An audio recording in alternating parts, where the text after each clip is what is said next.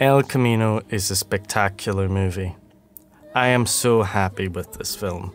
It adds another layer to the phenomenal show of Breaking Bad, much like Better Call Saul has.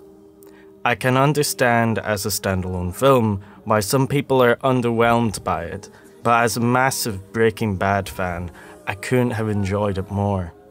It gives such a good exploration into the mind of Jesse Pinkman, how he's grown, what he's struggled with, and most of all, who he's become. The unseen conversations with many characters added so much more to the show, and I welcome them. With that said, the question asked about this movie is You ready?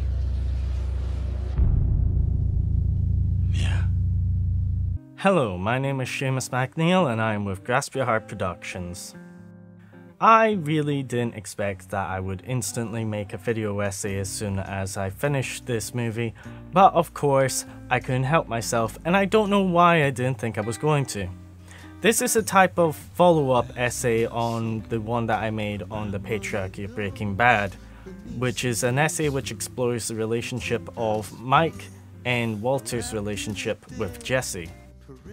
Now, when I finished El Camino, I did feel a bit strange. I wasn't entirely sure of how to feel about it.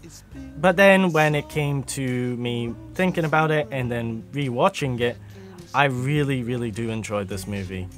I want to delve into the character of Jesse, and particularly with his struggles, his friendships, and the hurdles he comes over in this film, but most importantly, who Jesse becomes at the end of it. Let's delve right into El Camino, a Breaking Bad movie. The movie starts with a flashback to Mike and Jesse having a conversation about what they want to do about Walt in the meth business. Mike is very forward with Jesse and lets him know that it's ultimately his decision of what he wants to do. Jesse deciding to leave does make Mike quite happy, which reinforces Mike's care for Jesse. Seeing Mike fight a smile makes this such a great scene to watch. It does turn dark when Mike tells Jesse about where he'd go to Alaska. And then Jesse starts explaining how things can be made right, but Mike solemnly tells Jesse, No. Sorry, kid. That's the one thing you could never do. This could be a mix of Mike projecting, but also warning Jesse that he shouldn't be held back by his past and just keep moving forward. Throughout the scene, Mike looks at Jesse pridefully, but also has a final look of sadness at what Jesse has been through. This could be Mike's parental care coming through, giving Jesse the choice rather than him listening obediently. But being happy, Jesse considers his opinion of where to go.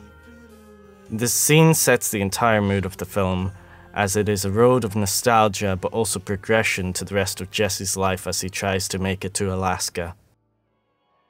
The film is a compilation of farewells at first. Saying farewell to Joe, who seems to be quite a fan of Jesse, but ultimately has to flee due to the tracker on the El Camino being activated. Then we see Skinny Pete and Badger, who helps Jesse without hesitation. Skinny Pete even gives away his iconic beanie, and it's a brilliant farewell to a character that has always been honest and caring for Jesse, with his final words being, Dude, you're my hero and shit. The way Badger and Skinny Pete act in this scene shows how much they've grown with Jesse. They're more wise and capable of making a relatively good cover up, but they are also willing to sacrifice their comfortable lifestyle for their friend in need, and I feel like Jesse will really miss them. Then we transition to Jesse evading the incoming police squad and go into the first flashback with Todd. Many people consider these flashbacks to be padding or pointless, yet I think it's one of the most significant sequences of the entire film. We need to consider that while Todd isn't a big character in Breaking Bad, he is a very important character to Jesse. Jack and his gang of neo Nazis are supposed to be irrelevant but are only made to flourish because of Walter's lack of morality.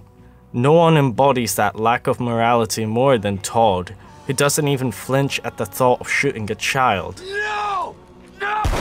No! And one of the most moral, or at least empathetic characters in the show is Jesse. Todd's sociopathic nature and lack of care for human life and well being is what makes him the antithesis of Jesse. Jesse is a child at heart but can be a rational adult, while Todd is the definition of a man child. The way he treats the death of the housekeeper as something not to talk about is how a child would try to avoid talking about something they did wrong.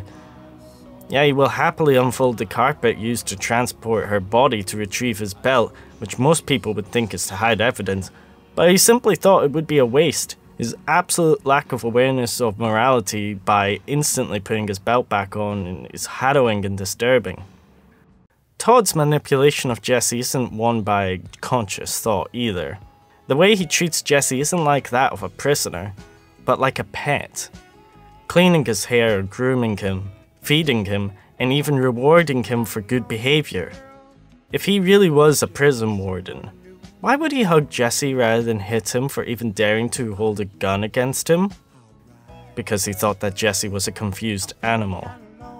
Jesse could have killed him, but that would have put Brock's life in potential danger, because if Jack and the others found out Todd was missing and so was Jesse, they would kill him. Yet Todd only thought so far as to believe he was simply scared. Todd always parroting what Uncle Jack says shows us his lack of agency and awareness of the magnitude of his many actions. I may be overanalyzing now, but the irony that Jesse may have got the idea of strangling Todd from how Todd killed his housekeeper with his belt is a nice detail. Jesse uses the knowledge of Todd's hiding place in his house to try to discover the money he had hidden away. However, Todd was paranoid about his spot being so easily found and decided to do some engineering. An entire night searching for the spot and he discovers it inside the refrigerator door, similar to his luck with the ATM in the episode Peekaboo. Another remnant of Jesse's past comes back to haunt him in the guise of police officers. A confrontation commences when Jesse does believe they are genuinely officers. Jesse's restraint and unwillingness to kill still shows us that he still has a sense of morality and empathy. Unbeknownst to him, however, is that they are the ones who welded his cage for the neo Nazis. I was wondering when you were gonna remember me. Jesse has to find a way to escape Albuquerque, and he remembers the contact that Saul gave him, who is Ed. Look, I am 96% sure that you are the guy, so why don't you just, like, admit it? You owe me for that first pickup. Yes! Oh, you're the guy! Wait, what? 96% sure, the fact that this number is used as a joke and as a reference to the purity of meth that he cooked is something that is quite amusing, but it could also show how broken he was by spending almost a year making meth for the neo Nazis because nothing is 100% now. While Ed may seem antagonistic to Jesse, being very strict on his payment rules, it gives us a sense of trust and dedication that he will stick to his word. Even though he is being difficult about it, it means that he takes his work very seriously. However, Ed does get sick of Jesse and phones the police. Jesse continues to push his luck until police officers arrives and he flees. He does call Ed and asks if his word is his bond, which Ed does confirm. This leads to Jesse calling his parents and telling them how it wasn't their fault he ended up this way.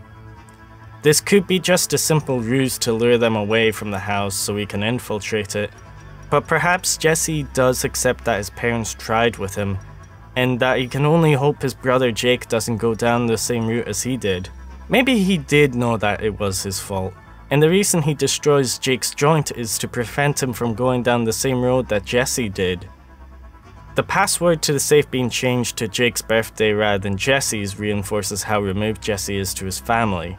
And this causes him to realize he has no familial ties anymore. He does unlock the safe and takes two pistols from an older era out.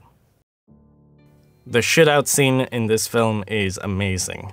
Some may see it as a simple action packed moment, but I believe that it is the ultimate demonstration of who Jesse is as a character now. He has become an amalgamation of Walt and Mike, the two biggest influences in his life.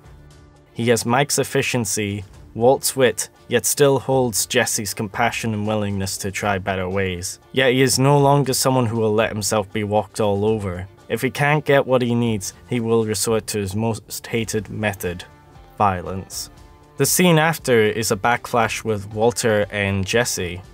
It is a very interesting scene as we see he advises Jesse to go to college and do something with himself. Jesse tells Walt that he did graduate high school, which surprises both us and Walter, despite Walter being there. This shows how far removed that Walter was at the time that even as a high school teacher, he was a bit too self-absorbed with other things. A bit of Walt's envy does slip through in this scene, through the line.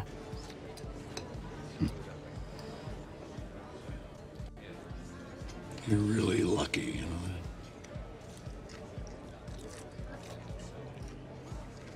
You didn't have to wait your whole life to do something special. This is a more bitter response from Mike's teenage retiree line, as Mike is possibly envious, but more happy for Jesse getting out of the vicious trade.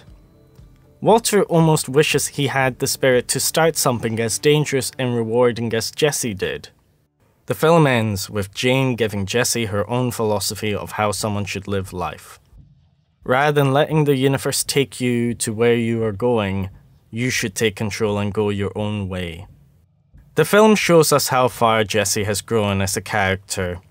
He was the one who let everyone lead him down roads that he may have never even wanted to go down by himself.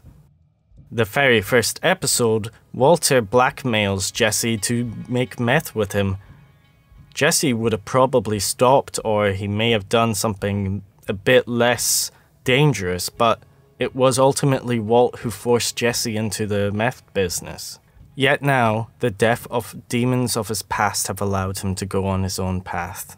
Jesse does a complete flip from Walter's character arc. While Walter started out as a humble man whose job was admirable, being a high school teacher who simply supports his family, the white sweater he wore symbolizes that purity. While Jesse wore more rogue and rebellious colors in his oversized hoodies with wild designs in the first season. However, as the series progressed, Walter turned darker and Jesse started to change as well, a lot more radically. The ending scene of El Camino has Jesse wearing a cream sweater which symbolizes that he is a lot purer than he was before, similar to Walter's white sweater in episode 1. However, what matters the most is Jesse is the survivor of Breaking Bad, and now he is finally taking his own road to the future. Thank you all for watching today's video. I really did enjoy El Camino, and I couldn't help myself but make another video essay on Breaking Bad as soon as I finished the film. However, I'm probably going to leave Breaking Bad content for a while now. I'm going to continue focusing on the 16 Sound Bites miniseries, where I explore SNES or GBA sound effects, music, and dialogue. I am also going to be working on a horror film video essay by the time Halloween happens, so I hope you look forward to that. My name is Seamus McNeil, and I am with Grasp Your Heart Productions. If your heart's racing, then so's your mind, and I hope to see you all in another video.